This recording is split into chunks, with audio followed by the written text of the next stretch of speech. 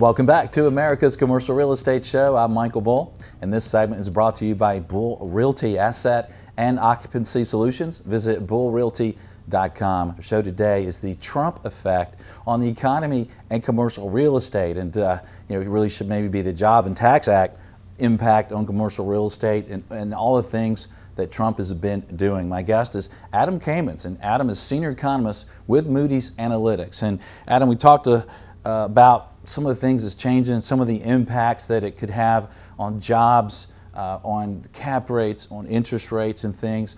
But what are some tips that you would leave us with, Adam, related to maybe uh, use of real estate, financing of real estate, investment, development? What do you say? Sure, sure. I think what when I think about kind of what this what this means, kind of more broadly, and where where the economy is going, uh, I think the the multifamily market might be you know kind of the, the best opportunity that's out there right now in some sense, at least as a result of kind of what's what's going on with the tax bill and, and what it means for the broader economy. And I say that as someone who has been watching the apartment market, you know, concerned that it, it looks a bit, you know, overvalued, that its trajectory has seemed unsustainable. And I think there's there's truth to that. But uh, the fact that uh, when we look at kind of you know how, how we're looking at the world and, and what the results of this tax law are going to be on the single family market, uh, it's going to take a little while for that to be fully capitalized into prices. But our expectation is that in, in some markets you could see you know prices that that are significantly worse than they would have been absent this tax bill. We're talking in some cases you know five to 10 percent lower than they would have been uh, absent the, the, tax bill, and that could mean outright declines in some markets. And uh, what I think that overall, you know, kind of the overall dynamics are going to be are going to be, you know, ones that are going to require some some homeowners to, to rethink or potential homeowners to rethink whether they really want to enter into the home the, the home ownership market that you know the incentives sort of the subsidies that have existed to, for homeowners are not going to be quite as strong uh, and that should actually have a little bit of a, of a positive impact on demand for the rental market. And we've actually seen kind of more broadly the trend has been that you know the home ownership rate, which has been falling for you know for, for many years, has kind of leveled off of late and has actually begun to creep upward a little bit. I think we might see that uh, maybe kind of begin to, to shift a little bit down again uh, as as a result of some of the some of the uh, changes to yeah. the tax code. Yeah, well, it makes sense, especially a lot of the stuff that you talked about on the last segment. Uh, you know, if we have additional job growth uh, from infrastructure and from corporate tax reductions, uh, could be really good for the apartment market. Adam, is there another sector that you think was favorably impacted by all of this?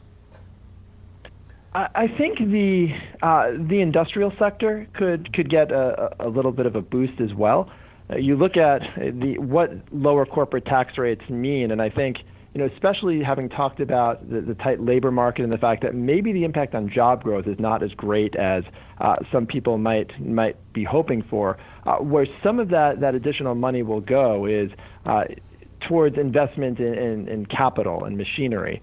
Uh, and I think that that could be a real benefit uh, to to firms in the industrial space, whether it's manufacturers or firms in, in logistics. And you know, you kind of compound that with the fact that any kind of short-term stimulus that that puts more money in consumers' pockets and leads to more spending. Uh, kind of in the old world, we would think of that as being a benefit to retail. Um, but in kind of the, the paradigm where we are now, that that really is maybe as much a benefit to industrial because you know many people are going to be using this extra money to make purchases on Amazon or you know on, on their their favorite retailer's website and uh, that's just going to be more and more demand for for you know warehousing and other types of industrial space that you know I, I think that you know we've already seen really really strong growth in that area over the last few years and I think this this will give kind of an additional boost over the next year or two there. Yeah, well, that makes a lot of sense. And uh, what about REITs, Adam? Uh, I know we work with a, lot of REITs, and uh, and maybe a lot of our uh, listeners and viewers are actually investing in REITs. What's the impact for them?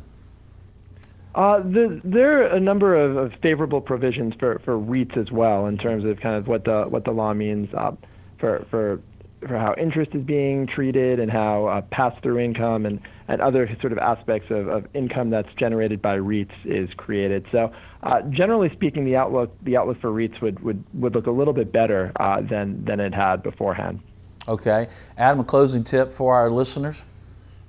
No, I think the only thing I would sort of close with is that you know sort of enjoy enjoy the benefits while it lasts over these next couple of years. But I would just kind of caution everyone to sort of keep keep a wary eye out because the, the sort of the idea of the of creating all of these new jobs and investment is is you know really exciting in the short run. Commercial real estate is going to really benefit in the next year or two, uh, but the sort of the provisions of the bill mean that um, there is kind of increased risk of, of bubbles forming, of some more frothiness kind of generally in the economy, and I think the commercial real estate market could be kind of at the center of that. So, you know, I think the, the good times are definitely going to continue to roll and probably, you know, roll a lot more forcefully in the next year, year and a half. But but after that, just sort of, I would say it probably is going to be time to be start, you know, starting to think about kind of bubble watch. Yeah, that's interesting. Adam, great information. Thanks for joining us.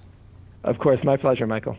And thank you for joining us out there across the country, whether you're on iTunes or YouTube, the show website, and I think we're on about 14 different podcast sites now. We certainly appreciate you being with us. And, and if you will, comment and uh, connect with us on our social media sites. You can find them all at creshow.com.